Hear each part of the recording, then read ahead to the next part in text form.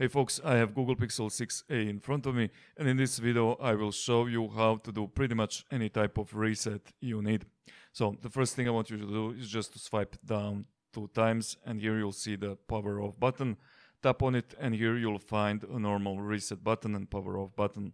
Now tap anywhere else to hide that model. Now tap on the settings and scroll all the way down and tap on the system.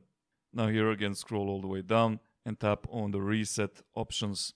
And here you have pretty much all the reset options. If you need to do the factory reset, this is the last option. And I assume that you already know that factory reset means that it's going to erase pretty much everything from the phone and set it to the settings the phone was using when you bought it.